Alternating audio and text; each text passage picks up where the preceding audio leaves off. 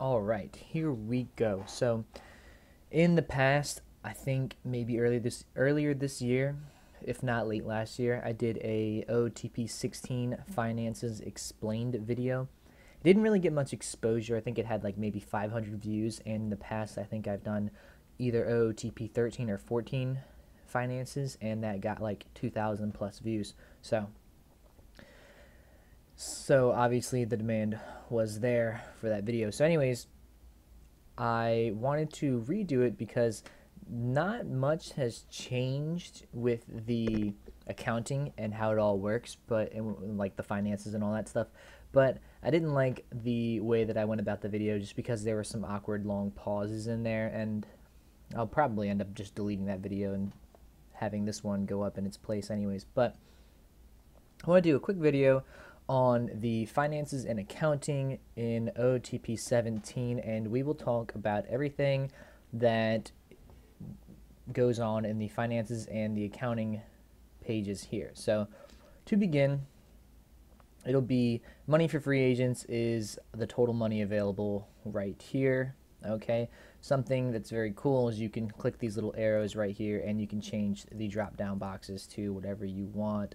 It even shows you your Rule 5 eligible players, which is pretty cool in my in my opinion. So anyways, the pretty much the overview snapshot is in the finances page. It's the also it's also the only page that you can find the market size, fan loyalty, fan interest, all that information. So that is very important.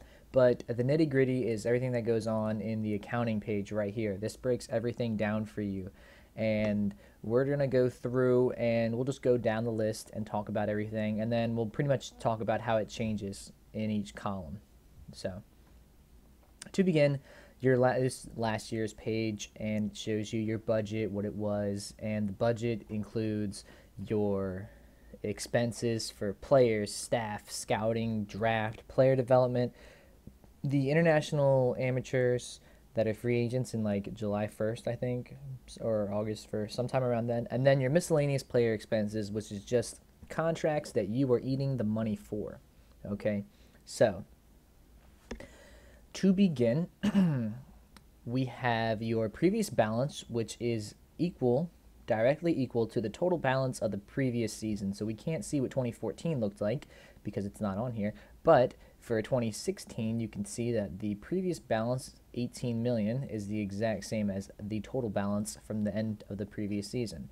Okay, now this will this number right here will subtract or be added by revenue sharing and cash from the owner. Revenue sharing is luxury tax. So if your team applies in the luxury tax field, then you will gain or lose money. The Orioles did not, so therefore they lose no money. And then the cash from the owner, the owner will decide upon your budget and he will take your starting balance money or he'll give you money if you're in the negative sometimes. Not every owner is the same, and it really just depends on the type of owner. And then all that matters is that that money plus whatever this equation is revenue sharing, cash and owner, will give you your starting balance, and your starting balance is your cash. Now, cash can be seen right here, and it's very important because you can go over your budget with cash. All right, so you can see here we have a budget room of 25 million essentially, and then you add in the 10 million from cash, and that's how we get the amount of money that we can spend on free agents, which is 35 million, rounded.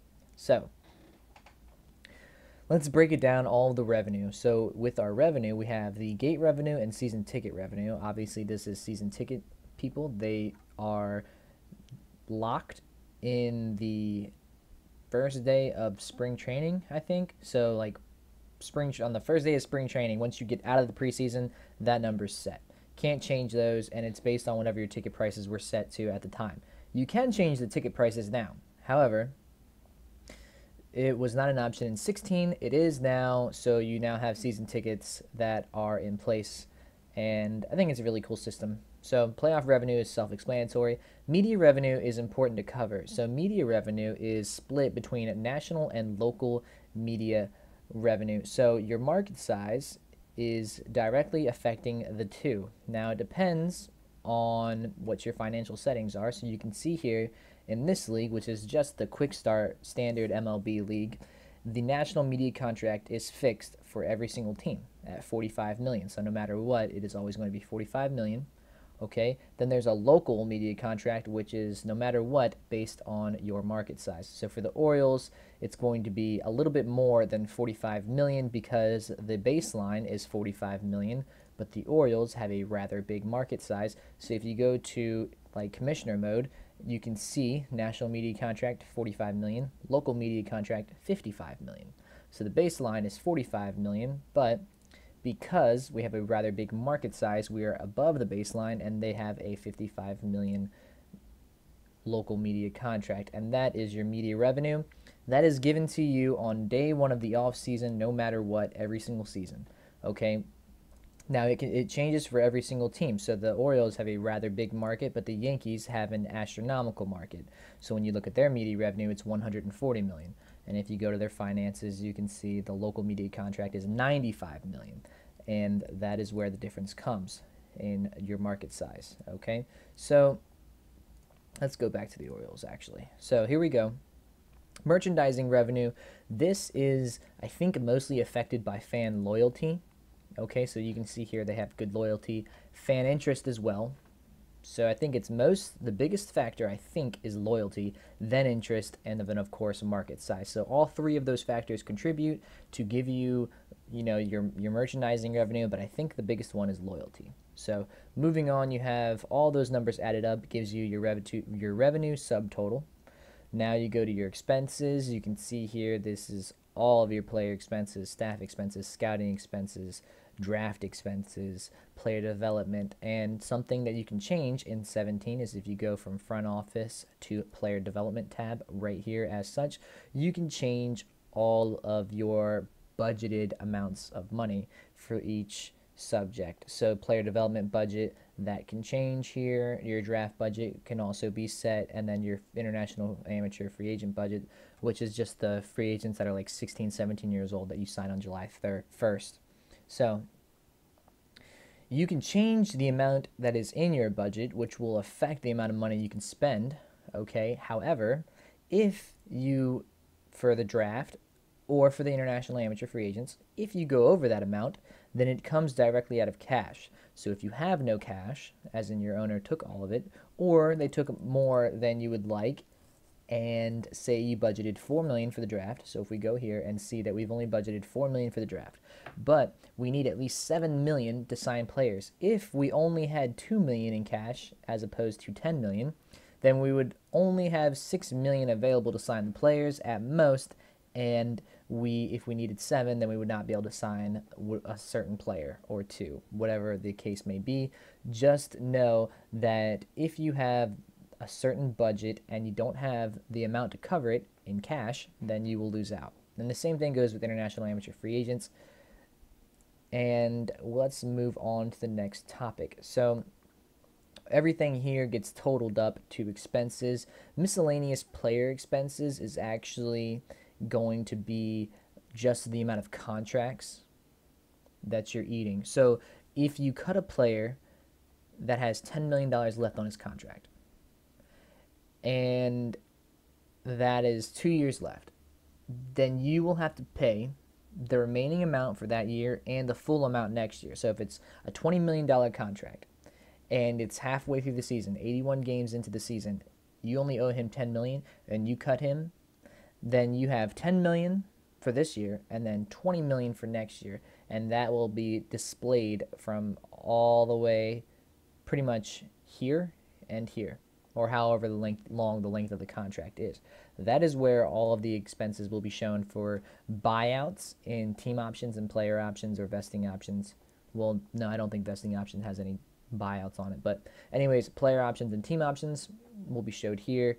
Then there's anything that you just outright cut and things of that nature are all miscellaneous player expenses. So finally, moving down, you have cash from trades, which is obvious, self explanatory, and this gives you your season profit or loss, but obviously we're profiting because this is green, and if it were red, it would be a loss. So you take your starting balance, you add the profit or loss, and that'll give you your total balance. And then the total balance is your previous balance right here. Then you take whatever cash from the owner decides to take or give you.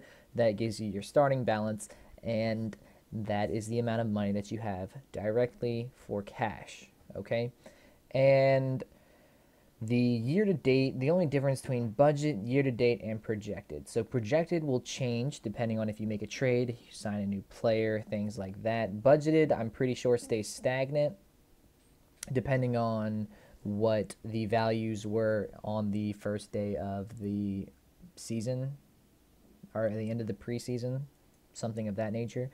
Either way, this is dynamic, that will change. This is the year to date so players get paid.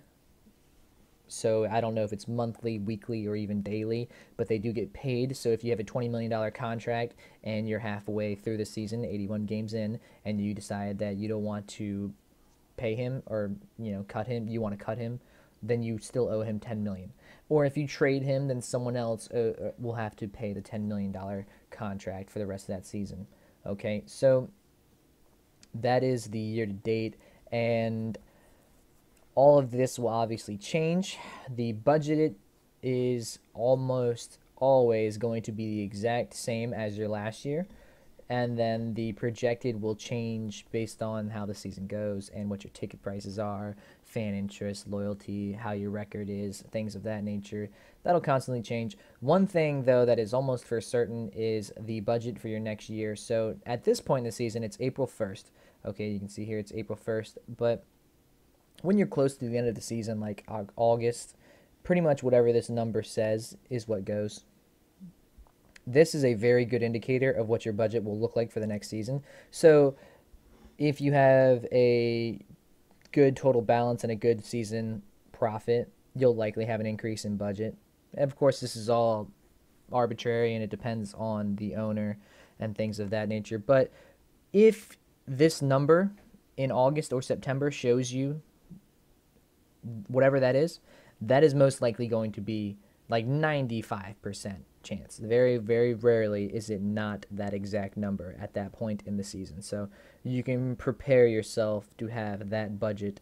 That way you are not surprised when the offseason comes and the owner gives you a cut or increase in budget. You won't be surprised because you will have seen it here. And this is how it all works. So we've covered all of the expenses and the budgeting and that is pretty much it. So I believe there's nothing left to cover here. And these numbers in 2018 are all that it's not a very good indicator at all. I wouldn't put too much weight into that at all.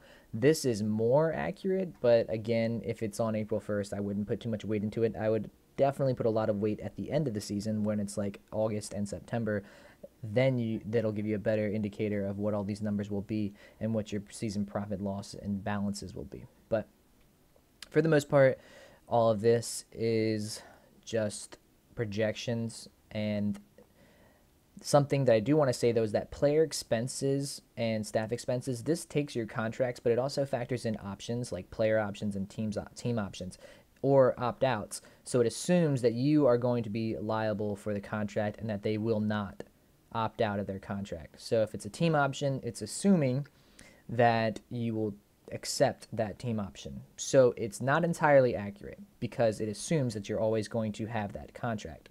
Okay, so the player expenses can change, and therefore your expense uh, total can change, and you might end up with more of a profit than you anticipated or that the game projected, only because it assumes you will always accept the contract. So just know that these figures are not finite, and you will definitely have the chance to change them if you have options or player opt outs in their uh, contracts. So, thanks for watching. Hopefully, you guys learned a few things, and let me know what you think of this video and if it was helpful. Thanks.